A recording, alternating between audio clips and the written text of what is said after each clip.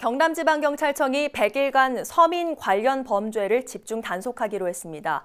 오는 5월 26일까지 경찰서 등의 전담팀을 중심으로 전화 금융사기나 생활폭력 등 민생 범죄 단속이 진행됩니다.